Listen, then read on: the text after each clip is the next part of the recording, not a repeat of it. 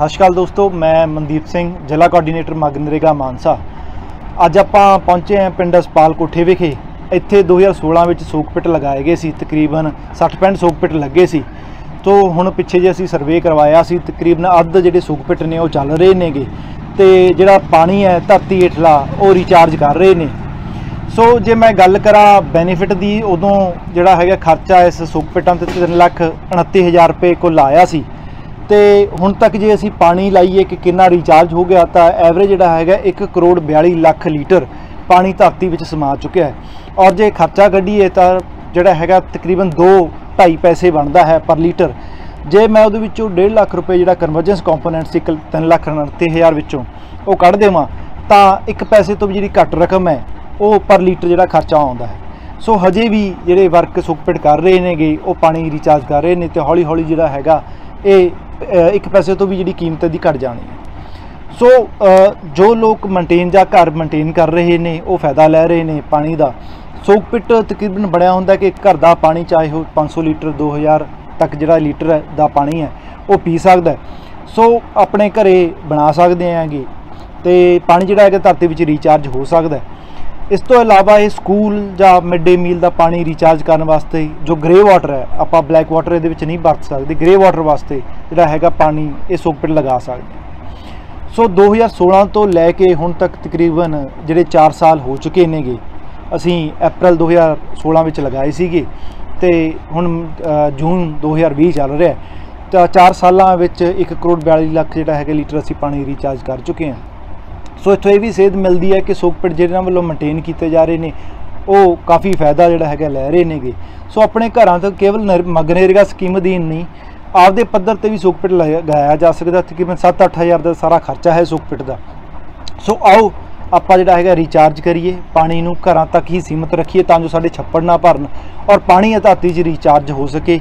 ਔਰ ਜਿਹੜਾ ਆਉਣ ਵਾਲਾ ਸਮਾਂ ਸਾਨੂੰ ਲੱਗਦਾ ਕਿ ਪਾਣੀ ਮੁੱਕ ਜਾਏਗਾ, ਉਸ ਨੂੰ ਜਿਹੜਾ ਅਸੀਂ ਬਚਾ ਸਕੀਏ।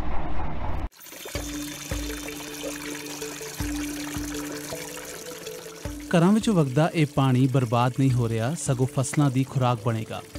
ਮਾਨਸਾ ਦੇ ਪਿੰਡ ਕੋਠੇ ਅਸਪਾਲ ਵਿੱਚ ਘਰਾਂ ਦੇ ਪਾਣੀ ਨੂੰ ਸੋਕ ਪਿਟਾ ਰਾਹੀਂ ਖੇਤਾਂ ਵਿੱਚ ਪਹੁੰਚਾਇਆ ਜਾ ਰਿਹਾ ਹੈ। ਇਸ ਪਿੰਡ ਵਿੱਚ ਕੀਤਾ ਗਿਆ ਇਹ ਉਪਰਾਲਾ ਯੋਗਦਾਨ ਪੱਖੋਂ ਛੋਟਾ ਹੋ ਸਕਦਾ ਹੈ, ਪਰ ਪੰਜਾਬ ਵਿੱਚ ਪਾਣੀ ਦੇ ਦਰਪੇਸ਼ ਸੰਕਟ ਦੇ ਹਿਸਾਬ ਨਾਲ ਇਸ ਦੀ ਮਹੱਤਤਾ ਜ਼ਿਆਦਾ ਵੱਧ ਜਾਂਦੀ ਹੈ। ਇਸ ਪਿੰਡ ਵਿੱਚ 65 ਸੋਕ ਪਿਟ ਲਗਾਏ ਗਏ ਹਨ, ਜਿਨ੍ਹਾਂ ਵਿੱਚੋਂ 32 ਦੇ ਕਰੀਬ ਕੰਮ ਕਰ ਰਹੇ ਹਨ। ਪਿੰਡ ਵਾਸੀ ਇਸ ਯੋਜਨਾ ਦੇ ਕਈ ਫਾਇਦੇ ਗਿਣਵਾ ਰਹੇ ਹਨ ਤੇ ਪਾਣੀ ਬਚਾਉਣ ਬਾਰੇ ਜਾਗਰੂਕ ਨਜ਼ਰ ਆ ਰਹੇ ਹਨ। ਜਿਹੜਾ ਪਾਣੀ ਸਾਡਾ ਸੜਕ ਤੇ ਜਾਂਦਾ ਸੀਗਾ ਨਹਾਉਣ ਧੋਣ ਵਾਲਾ ਕੱਪੜਿਆਂ ਦਾ ਉਹ ਸਾਡਾ ਸੜਕ ਤੇ ਜਾਣੋਂ ਰੁਕ ਗਿਆ ਪਾਣੀ। ਸਾਡੇ ਸੋਕ ਫਿੱਟ ਦੇ ਵਿੱਚ ਜਾਂਦਾ ਹੈਗਾ ਸੋਕ ਫਿੱਟ ਦੇ ਵਿੱਚ ਪਾਸੀ ਉਹ ਡਲੇ ਪਾਏ ਹੋਏ ਨੇ ਉਹਦੇ ਵਿੱਚ ਪਾਣੀ ਸਾਰਾ ਖਪਤ ਹੋ ਜਾਂਦਾ ਹੈ। ਸਾਡਾ ਬਾਹਰ ਪਾਣੀ ਕੋਈ ਨਹੀਂ ਜਾਂਦਾ ਇਸ ਕਰਕੇ ਸਾਨੂੰ ਇਹਦਾ ਬਹੁਤ ਜ਼ਿਆਦਾ ਫਾਇਦਾ ਹੈ। ਹਾਂ ਜੀ ਫ਼ਰਕ ਹੈ ਜੀ ਪਾਣੀ ਬਾਹਰ ਥੱਲੇ ਨਹੀਂ ਜਾ ਰਿਹਾ ਜੀ ਉੱਪਰ ਖੜਾ ਜੀ ਉੱਥੇ। ਨਹੀਂ ਅੱਗੇ ਆਏ ਸਾਲ 5-7 ਫੁੱਟ ਥੱਲੇ ਨੀਚੇ ਚਲਿਆ ਜਾਂਦਾ ਸੀਗਾ। ਪਰ ਸੋਕ ਪਿਟ ਜ਼ਰੀਏ ਪਾਣੀ ਬਚਾਉਣ ਵੇਲੇ ਕੁਝ ਗੱਲਾਂ ਦਾ ਖਿਆਲ ਰੱਖਣਾ ਵੀ ਜ਼ਰੂਰੀ ਹੈ। ਉਹ ਜਦੋਂ ਢੱਕਣ ਟੁੱਕਣ ਦੀ ਗਾਰ ਵਾਲਾ ਪਾਣੀ ਪਾਉਂਦੇ ਆ ਜੀ ਇਸ ਕਰਕੇ ਇਹ ਫਿਰ ਗਾਰ ਵਾਲਾ ਪਾਣੀ ਨਾ ਰੁਕ ਜਾਂਦਾ ਹੈਗਾ।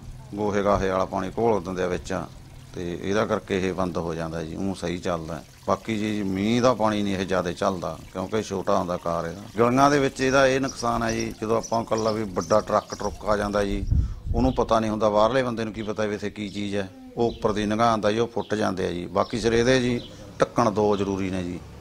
ਜਿੱਥੇ ਪਾਣੀ ਪੈਂਦਾ ਉੱਥੇ ਵੀ ਢੱਕਣ ਚਾਹੀਦਾ ਜਿੱਥੇ ਆਪਾਂ ਟੋਆ ਪੱਟਿਆ ਜੋ ਮਤਲਬ ਡੱਗ ਡੱਬਿਆ ਉਹਦੇ ਵਿੱਚ ਵੀ ਢੱਕਣ ਚਾਹੀਦਾ। ਪਾਣੀ ਨੂੰ ਕਿਵੇਂ ਬਚਾਉਣਾ ਹੈ? ਇਸ ਬਾਰੇ ਪਿੰਡ ਦੇ ਸਕੂਲਾਂ ਵਿੱਚ ਪੜ੍ਹਦੇ ਬੱਚੇ ਕਿਤਾਬਾਂ ਦੇ ਚਿੱਤਰਾਂ ਤੇ ਨਿਰਭਰ ਨਹੀਂ ਹਨ। ਪਿੰਡ ਵਿੱਚ ਪ੍ਰਤੱਖ ਨਮੂਨਾ ਉਹਨਾਂ ਦੇ ਸਾਹਮਣੇ ਹੈ। ਹਾਂਜੀ ਜਿਵੇਂ ਸਾਡੇ ਈਵੀਐਸ ਦੇ ਵਿੱਚ ਟੌਪਿਕ ਹੀ ਹੈ ਇਹ ਪਾਣੀ ਦਾ। ਪਾਣੀ ਦਾ ਪੂਰਾ ਪੂਰਾ ਲੈਸਨ ਹੈ। এনवायरमेंट ਦੇ ਵਿੱਚ ਇਹਨਾਂ ਨੂੰ। ਤੇ ਉਹ ਸਾਨੂੰ ਜਿਵੇਂ ਬੱਚਿਆਂ ਦੇ ਡਰਾਇੰਗ ਮੁਕਾਬਲੇ ਕਰਾਉਣੇ ਆ ਇਹਨਾਂ ਨੂੰ ਕੋਈ ਦਿੱਕਤ ਨਹੀਂ ਆਉਂਦੀ ਵੀ ਸਾਡਾ ਇਸ ਤਰ੍ਹਾਂ ਕਰਕੇ ਇਧਰੋਂ ਪਾਣੀ ਆ ਰਿਹਾ ਇਧਰ ਸੋਕ ਪਿੱਟ ਬਣੀ ਹੋਈ ਹੈ। ਨਹੀਂ ਅਸੀਂ ਪਹਿਲਾਂ ਡਰਾਇੰਗ ਬਣਾਉਂਦੇ ਸੀ ਬੱਚਿਆਂ ਨੂੰ ਯਾਦ ਕਰਨੀ ਪੈਂਦੀ ਸੀ ਵੀ ਇੱਥੋਂ ਆ ਰੇਨ ਵਾਟਰ ਆ ਰਿਹਾ ਜਾਂ ਆ ਰਿਹਾ।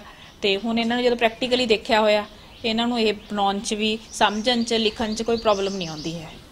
ਜੀ ਕੀ ਨਾਮ ਹੈ ਜੀ ਤੁਹਾਡਾ? ਸਾਡਾ ਨਾਮ ਬਿੰਦਰ ਸਿੰਘ ਜੀ। ਕਿੰਨਾ ਸਮਾਂ ਹੋ ਗਿਆ ਜੀ ਸੋਕ ਪਿੱਟ ਲੱਗੀ ਨੂੰ ਤੁਹਾਡੇ ਘਰੇ? ਸੋਕ ਪਿੱਟ ਨੂੰ ਤਕਰੀਬਨ 4 ਸਾਲ ਹੋ ਗਏ ਜੀ। ਤੇ ਕਿੰਨਾ ਕੁ ਪਾਣੀ ਦਿਨ ਦਾ ਜਿਹੜਾ ਹੈਗਾ ਐਵਰੇਜ ਰੀਚਾਰਜ ਹੋ ਰਿਹਾ ਜੀ ਤੁਹਾਡੇ ਘਰੇ?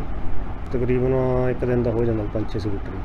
ਠੀਕ ਹੈ ਜੀ। ਕੋਈ ਤਕਲੀਫ ਆਈ ਹੋਵੇ ਪਾਣੀ ਦੇ ਉਦੋਂ ਤੋਂ ਲੈ ਕੇ 4 ਸਾਲਾਂ ਵਿੱਚ ਹੁਣ ਤੱਕ? ਨਹੀਂ ਕੋਈ ਸਮੱਸਿਆ ਨਹੀਂ ਇਸ ਤਰ੍ਹਾਂ ਬਿਲਕੁਲ ਸਹੀ ਹੈ।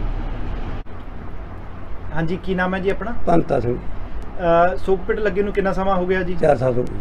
ਤੇ ਆਪਣਾ ਕਿੰਨਾ ਕੁ ਪਾਣੀ ਦਿੰਦਾ ਜਿਹੜਾ ਹੈਗਾ ਤੁਹਾਡਾ ਡੁੱਲਦਾ ਹੈ?